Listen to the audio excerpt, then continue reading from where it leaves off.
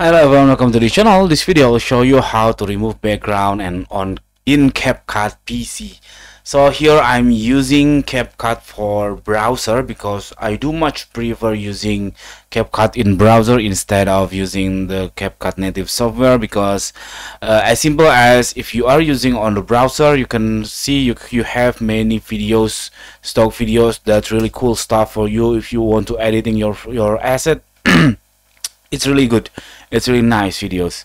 So now back to the back to the back to the topic. So the topic is uh, this video topic is to remove the green screen or the background on the videos. So what you have to do click on the videos. Make sure you have the green screen area.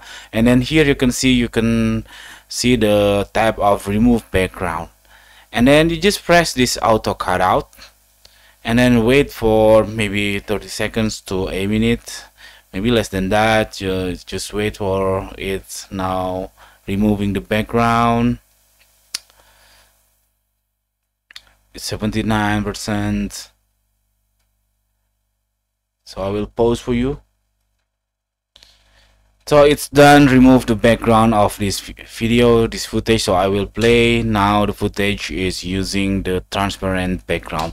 So I can change the background. For example I want to change I want to upload some for example this one some Ronaldo stuff here.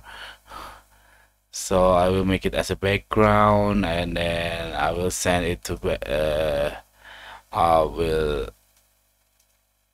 oops I will make it upper.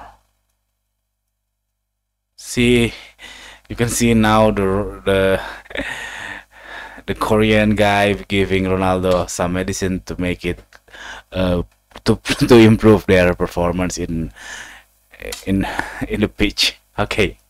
Okay that's it. It's very simple tutorial. I hope it's helpful for you. If it's you can subscribe our channel or you can just put click add thanks on down below. We will really appreciate that. Thank you. Bye bye